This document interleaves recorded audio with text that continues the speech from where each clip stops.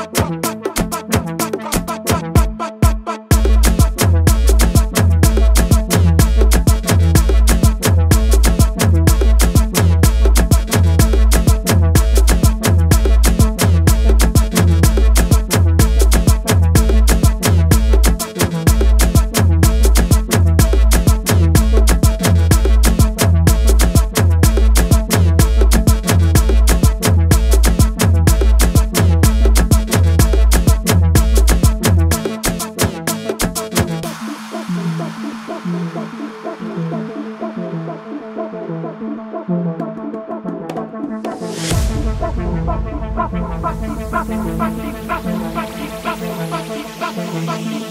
you.